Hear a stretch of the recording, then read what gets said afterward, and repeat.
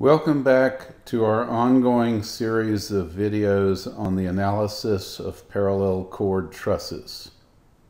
This particular video is based on Chapter 7, Section 1, Subsection 8, in which we will focus on the analysis of a 24 square bay truss with equal 5 bay cantilevers at each end. This first slide shows half of the truss there's a support point here. This is the symmetry line of the truss. So basically we see this same thing mirrored over on the other side. Here are the five cantilevered bays and then seven of the of the bays, uh, the 14 bays between the support points. You'll notice in the pattern we've set the diagonals in the cantilever in this direction so that they are working in tension. And then on the other side of the support point, between the supports, we've run the diagonals in the opposite direction so that they are also working in tension. We're assuming this is a steel truss. We would prefer to have the long members working in tension because as we mentioned before, steel is a very strong material typically we don't need very much material in the cross section. Uh, as a consequence, steel tends to uh, be vulnerable to buckling because, ironically, because the material has such a high stress capacity, um, we don't need very much of it in the cross section. The cross section tends to be small, and as a consequence, in compression, tends to be vulnerable to compression. So we're trying to keep the compression members as short as possible. So, for example, all these vertical members, which are the short members, are working in compression, and the diagonals, which are the long members, are working in tension when we configure the truss in this way. Now we're going to zoom in a little bit uh, to make it all more readable. So we're going to start looking at the cantilever and uh, we're going to begin right here because this is one of the few points where we really have enough information in order to solve the entire joint. So this is joint A. It has an applied load of 0.5 P downward. Uh, in order to keep that joint in equilibrium, this member must be pushing up on that with a 0.5 P force. Um, that means the joint is pushing back down on the member, the member is in compression. Its equilibrium requires that the joint B be pushing up on it. And then by action reaction pairs, that means the member is pushing down on joint B. So one way of looking at it is that, uh, as we have mentioned several times, the members being two force members are more or less passing forces through. So the force here has basically been transmitted down through this little column to this joint right here. So we're expressing an upward force on joint A due to the member, a downward force on joint B due to the member. They are in turn pushing back on the member and putting it in a state of compression which we're indicating with this C, and the magnitude of that force is 0.5 P. Now, we need to continue on with joint A to resolve what's happening with this member. It's clear that joint A has no applied forces in the horizontal direction.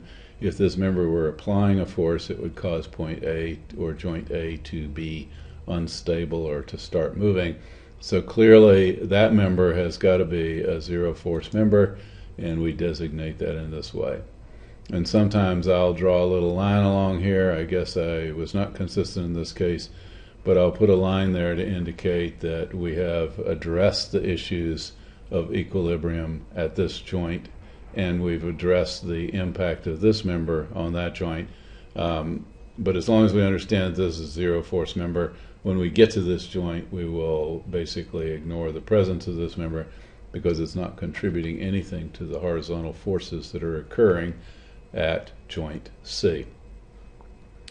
So now we can jump down to joint B and we basically uh, see that we have a half P downward force. The only member that can equilibrate that is this diagonal which must have a 0.5 upward force um, or upward component. So we draw the force along that length and in this bookkeeping system, we put a 0.5 here to, to uh, indicate the magnitude of the vertical component. Uh, by the nature of the geometry of this diagonal, since it's at 45 degrees, uh, the horizontal and the vertical components have to be equal in magnitude. in order to create a force along the length of that member. And of course, we can use the Pythagorean theorem or trigonometry to resolve what the total force in member BC is, and it's 0.71 P, and that member is in tension because that has to be the case. It couldn't pull up on the joint B if it was not in tension. And joint B is pulling down to the left on the member, joint C is pulling up and to the right, which is creating the state of tension in that member. So now we need to resolve the horizontal forces here, and that's pretty simple to do. We had a 0.5p component uh, in the horizontal direction from this diagonal, and that's the only horizontal force so far that we've identified on joint B. So this member, BD, must be pushing to the left on the joint, and it's in turn pushing to the right on joint D. So now we've completely resolved joint B. We could jump to D, but we don't have enough information because we have two unknown verticals and two unknown horizontals. So we're going to jump up to joint C instead. When we do that, we see that we have uh, two verticals. One is this applied force of 1p, and then there's a downward vertical component from this diagonal of 0.5. So that's a total of 1.5p pulling downward on C. The only member that can equilibrate that is member CD, which must be pushing up on joint C with a 1.5p force. So uh, basically that's this force right here and we jumped uh, an image here and we're going to completely resolve the joint by saying that the horizontal component of this diagonal is being balanced by a pull due to this member and the one and a half p downward force due to the diagonal and the applied force is being equilibrated by this member which is pushing up with one and a half p and that completely resolves all the forces on joint C. Now we can jump down to joint D the vertical component one and a half p downward on joint D due to this vertical member has to be equilibrated by the vertical component of that member. And so it has to be pulling up with 1.5p. To be along the diagonal, it also has to be pulling to the right with 1.5p. And the Pythagorean theorem says that the overall um, uh, force in that member is 2.12p and it's in tension. Now we need to resolve the horizontals here we have um, a, and there's an arrow missing here. There should have been an arrow to the right of 0.5p. And likewise, uh, we have a 1.5p from here due to the horizontal component of that diagonal. So this member has to be pushing back on that joint with a 2p force. So that takes care of the resolution of this joint and now we can jump up to E and we see that we have a 1.5p vertical component from the diagonal. We have a 1p applied force, so this member has to be pushing up with a 2.5p force in order to equilibrate that. So we draw that in. It must be pushing down on this joint also um, with a 2.5p force, so we indicate that with this arrow. Now we need to resolve this member. We have a 0.5p force to the left due to the uh, tension in this top chord pulling to the left on joint E. The diagonal is also pulling to the left with a 1.5p horizontal component. Um, so the diagonal and the chord are conspiring together to produce a 2p force to the left on joint E, and this member has to be pulling to the right with a 2p force. So we draw that in, and now we've taken care of all the equilibrium on this joint. We can jump down to this one. We see this 2.5p downward force uh, on joint F has to be equilibrated by the diagonal, which has to be pulling up and to the right. And so we draw those forces in. Uh, so this 2.5p force is being equilibrated by the vertical component of this diagonal. Now we can resolve the horizontal forces. We have a 2p force pushing to the right due to this member right here, pushing to the right on joint F, And then joint F is also being pulled to the right with a 2.5 P force uh, from this diagonal. So that adds up to 4.5 P, and the only member that can equilibrate that is this one right here. So it has to be pushing to the left with a 4.5 P force, and that means it's also pushing to the right with a 4.5 P force on joint H. Now we can jump up to joint G and resolve the forces there. With the vertical, we have 1p applied force, 2.5p uh, vertical downward force from the diagonal. So 1p plus 2.5p, both downward, is 3.5p. This member is the only member that can equilibrate that. It must be pushing up with a 3.5p force.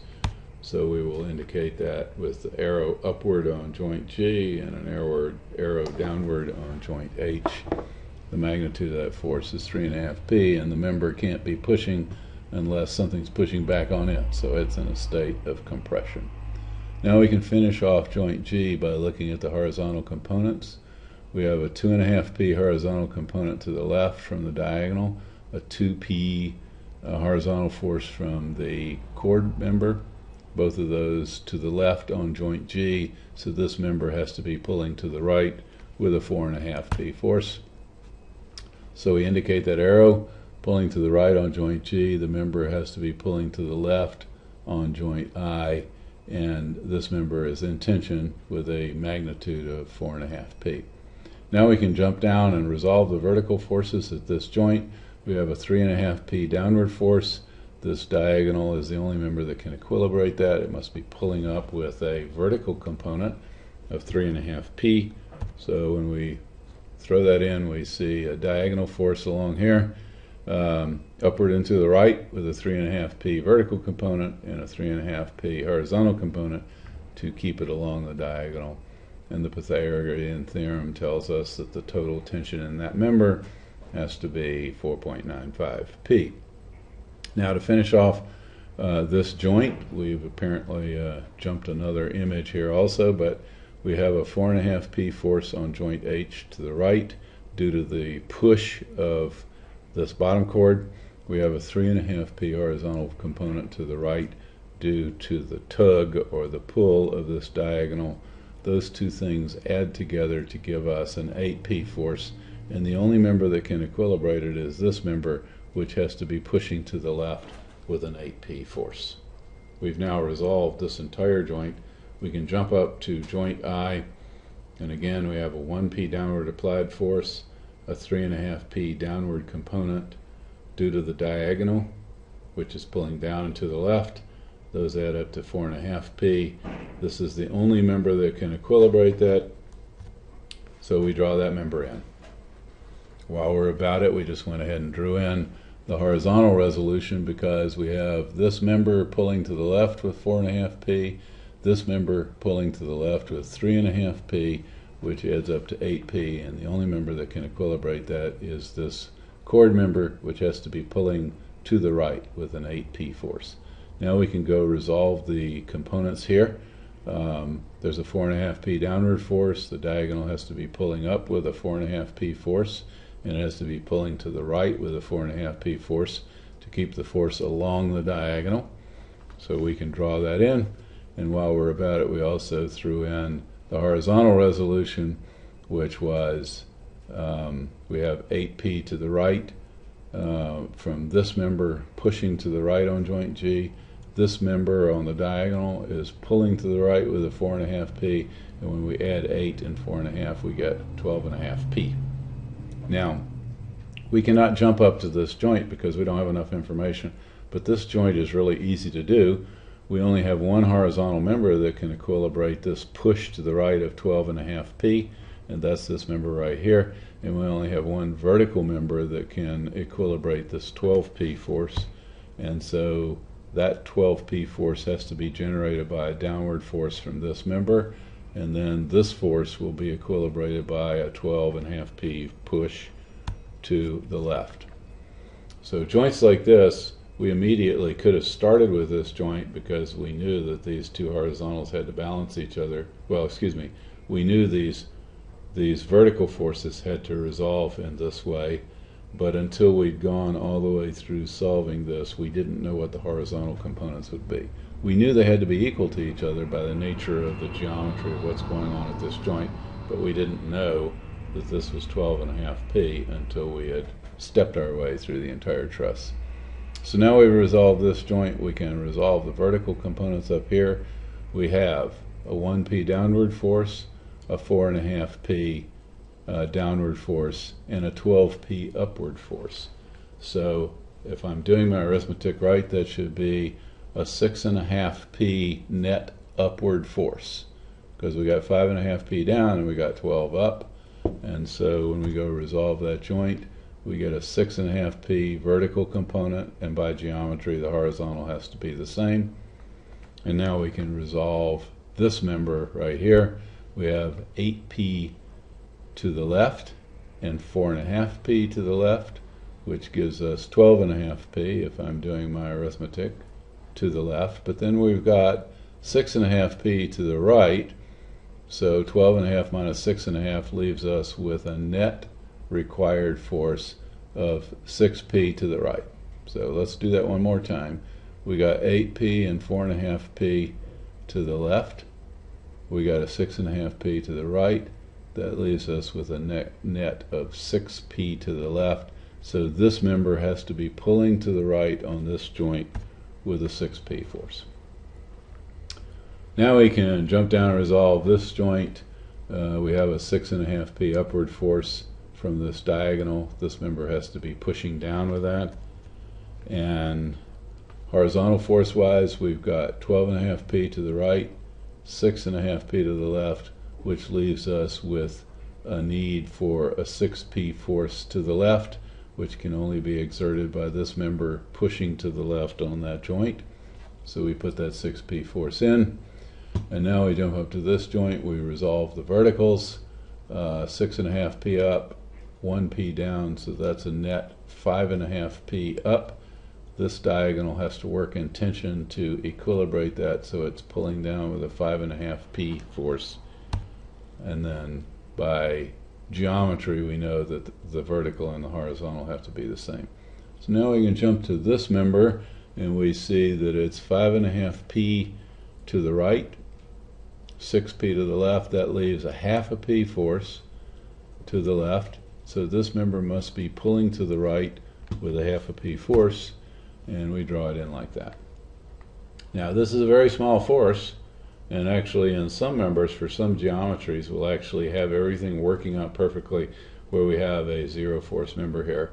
But in this case, that's not exactly uh, the situation.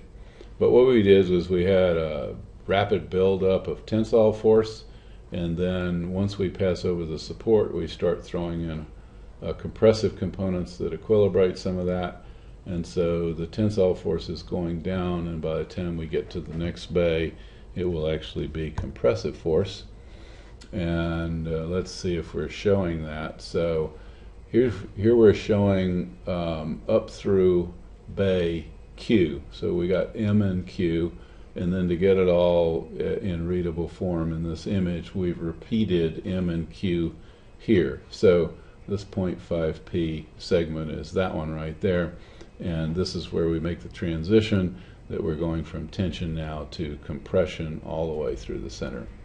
Now, one of the things I want you to note is that the 12.5p compressive force on the bottom here is almost equal to the 12p compressive force in the middle.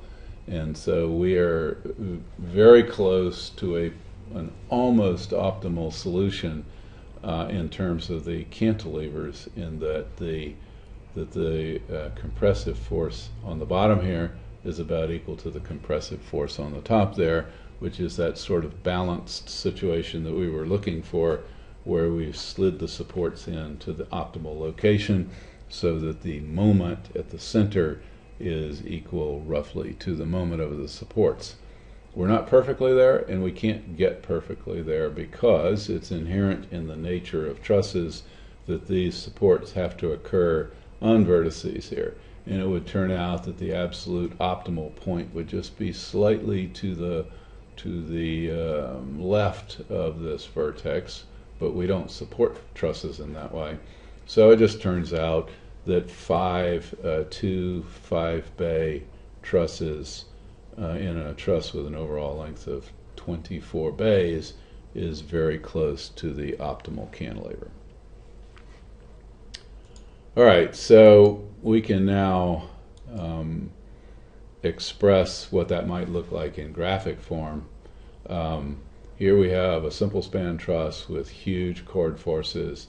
As we begin to slide the supports in, the chord forces get smaller and we start to get minute uh, negative uh, or reverse chord forces over the support. So we have compression here on the top and compression here on the bottom. And what we're looking at there, by the way, is um, is the optimal kind of situation here, where we're five bays in. We got a five bay cantilever here, a five bay cantilever there, 14 bays in between, and our chord forces in compression on the bottom here about match the chord forces in compression on the top there.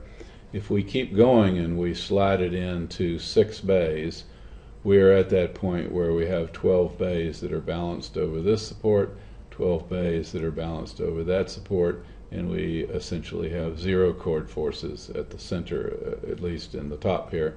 So these two bays are zero chord force, that bay is zero chord force, and that one is also on the top chord. And of course, if we keep sliding them in, we end up with a situation where the chord forces are as bad for these cantilevers as they are for um, the simple span. Uh, deflection wise, we see uh, similar pretty dramatic results. Our optimal situation has almost no deflection at the ends of the cantilevers. Uh, we have very large deflection for the full simple span, very large deflection for the cantilever situation where we have um, the full maximum potential uh, cantilever. So this solution right here is optimal both in terms of minimizing chord forces, but also minimizing movement out near the ends of the truss. Now, uh, sometimes we're not sort of uh, dealing with a situation uh, like this where we're saying, let's play games with sliding the supports in.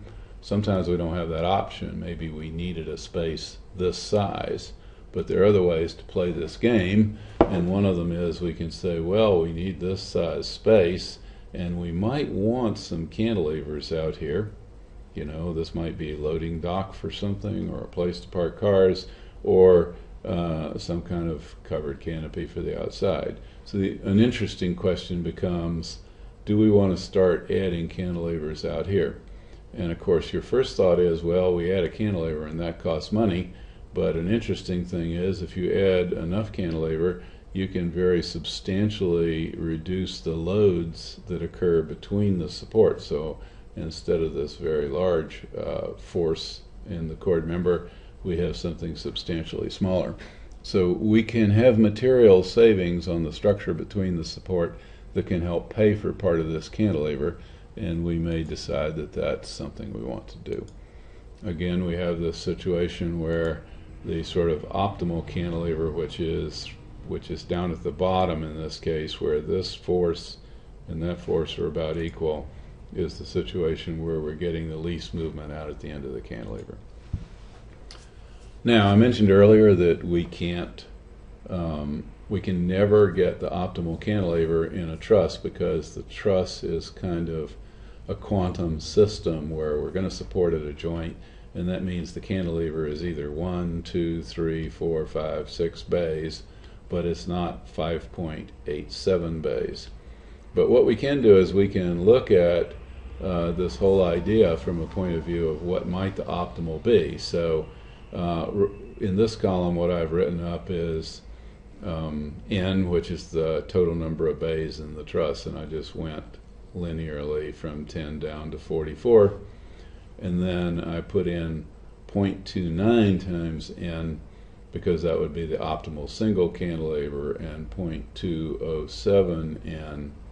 Um, and basically am looking for uh, something that approximates integer numbers. So for example, let's take a bad case. If we had a 12 bay truss and we wanted to have a single uh, cantilever that was optimal, if I just multiply 0.29 times 12, it tells me that the optimum is 3.48 bays. But we know we're not going to support 3.48 bays in the cantilever. It's either going to be 3 or 4. So we don't have an optimal single cantilever or anything close to it for a 12 bay truss.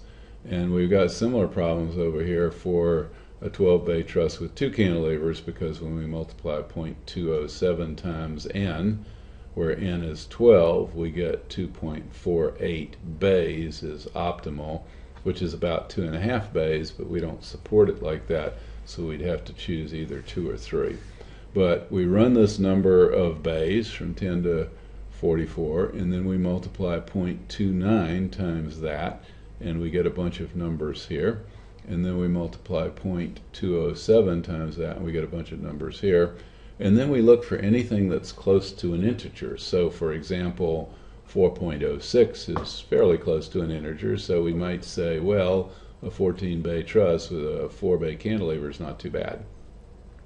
Likewise, for the 17 bay truss, we get 4.93, which we can say, well, that's pretty close to 5. So we'll say a 5 bay cantilever is close to optimal for 17 bays.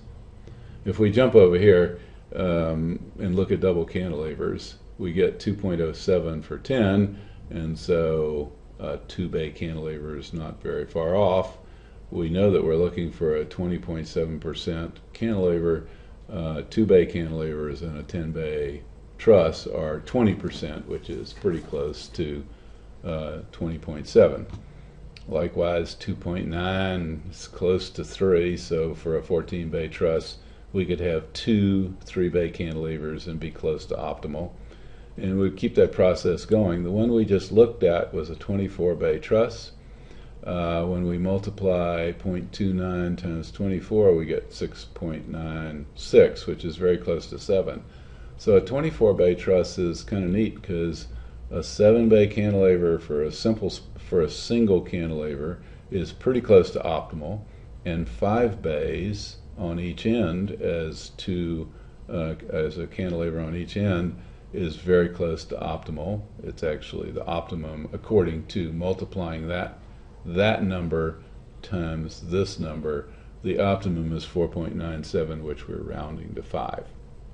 So in other words, these numbers corroborate what we just demonstrated in our solution, which is that the um, two 5 bay cantilevers on a 24 bay truss is very close to optimum in terms of balancing the compressive forces in the top chord between the two supports versus the compressive forces over uh, in the bottom chord over the support.